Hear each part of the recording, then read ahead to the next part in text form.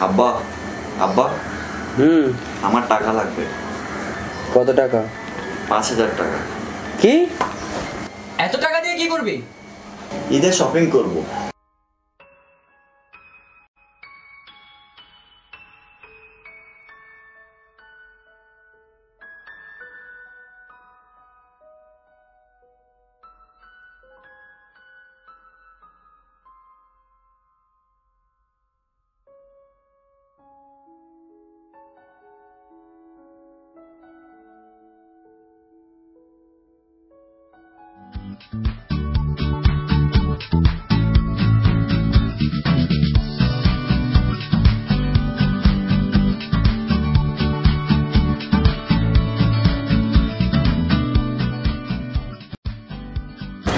তো তোদের কেমন চলতেছে?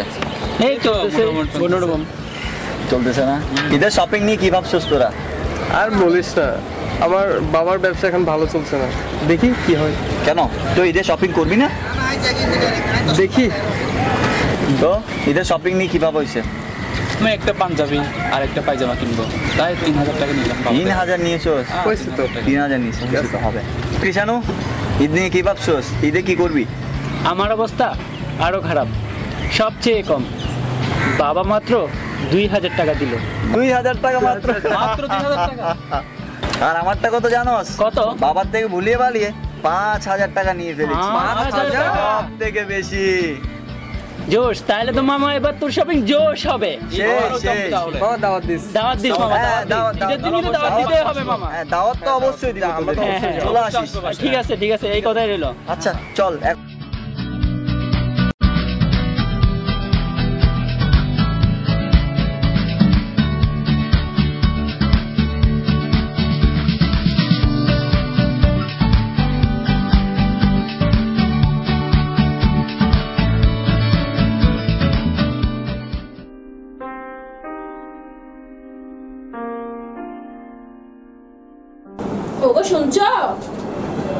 বলো।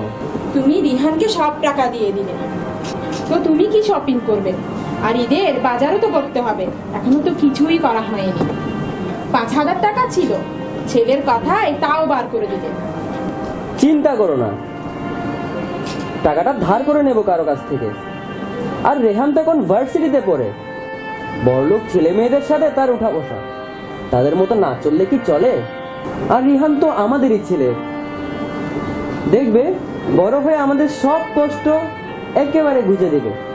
আজ নিজেকে খুব স্বার্থপর মনে হচ্ছে। শুধু নিজের ভালোর জন্যই বাবা মাকে এতটা কষ্ট দেই আমি, যে বাবা মাকে এত ভালোবাসে, তাদেরকে আমি এতদিন অবহেলা করে এসেছি? না বাবা মার জন্য আমার কিছু করতেই হবে।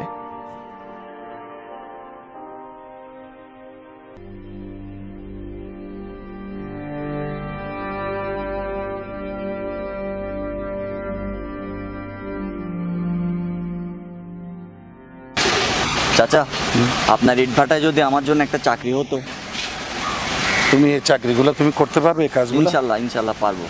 আচ্ছা যদি পারো কালকে আমার অফিসে এসে আমার প্রজেক্ট এসে দেখা করো আচ্ছা ঠিক আছে? আচ্ছা। যাও।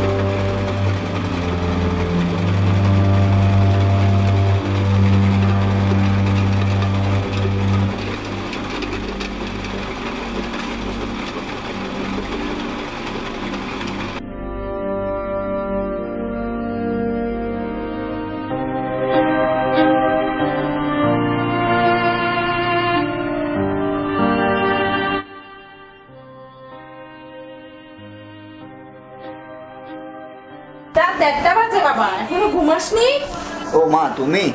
আসো। আচ্ছা মা তুমি আর বাবা কি কিনলে? দেখালে না তো?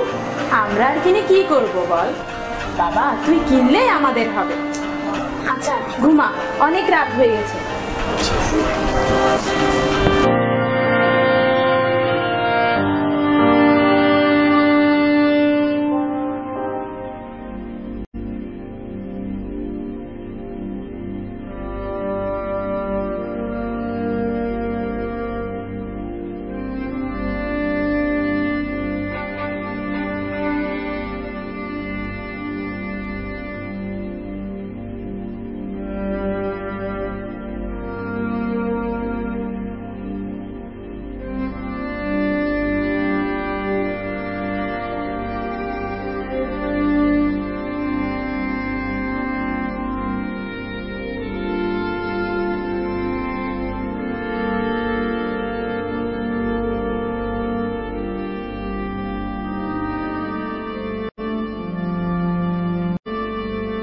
তিনি কাকি কেমন আছেন? কাজ চলতেছে তো?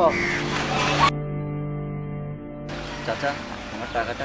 তোমার টাকা? তোমার টোটাল কতদিন কাজ হয়েছে? পনেরো দিন চাচা। পনেরো দিন? ও তাই?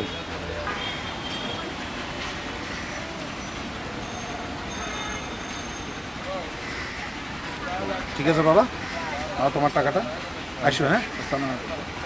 ওয়ালাইকুম আসসালাম। ভালো থাকবে হ্যাঁ?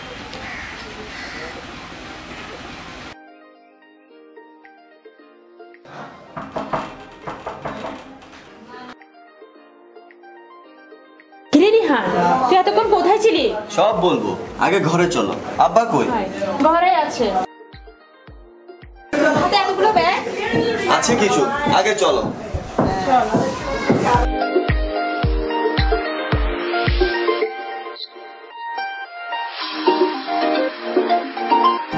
মা দেখো তো কেমন হয়েছে?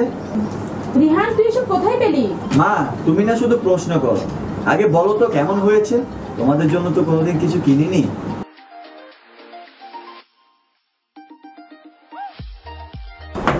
বাবা তোমার জন্য এনেছি।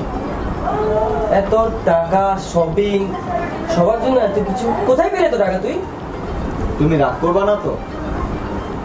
না বল। আমি না রফিক আঙ্কেলের ওখানে কাজ করেছিলাম। সেখান থেকে চার হাজার টাকা পেয়েছি তোমার জন্য সেখান থেকে কিছু একটা কিনে আনলাম। কি বললি তুই? আমি কি মরে গেছি?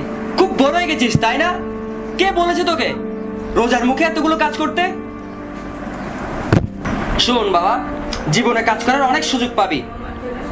ওই সময় কাজ করিস। তুই যদি এর মধ্যে এরকম কাজ আর করিস, তাহলে আমার থেকে খারাপ আর কেউ হবে না।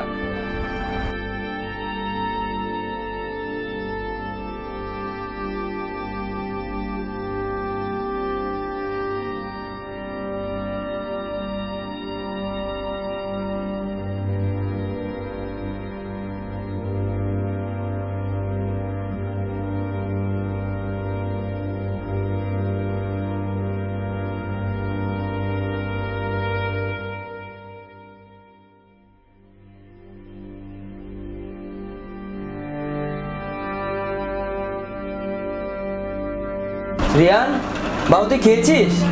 খাব না ক্ষুধা নাই। আয় বাবা খেতে আয়।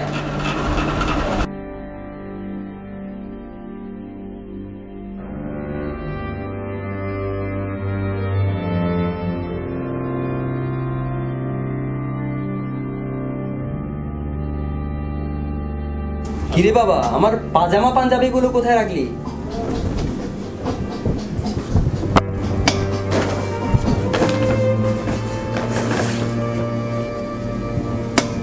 আচ্ছা বাবা, আমি কি কিছু ভুল করে ফেললাম? না রে বাবা, তুই ভুল করিসনি। আমার আমার যে গর্ব হচ্ছে, তোর মতো একটা ছেলের বাবা হতে পেরে। আজকে আমি খুব খুশি রে বাবা, তোর প্রথম রোজগারের টাকা দিয়ে আমাদের জন্য এত কিছু কিনে আনলি। এগুলো আমার কাছে অনেক অমূল্য রতন। সারা বাজার ঘুরেও এরকম জিনিস আমি খুঁজে পাবো না। খুব যত্ন করে রাখব রে এগুলো। খুব যত্ন করে রাখব। আজকে ছেলেটি একজন সুখী মানুষ। সেদিন সে তার ভুল বুঝতে পেরেছিল। আসলে বাবা মাকে খুশি করতে তেমন দামি কিছু লাগে না। এরা অল্পতেই খুশি। যদি সেটা দেওয়া হয় ভালোবাসার সংস্পর্শে। বাবা ঈদ মোবারক।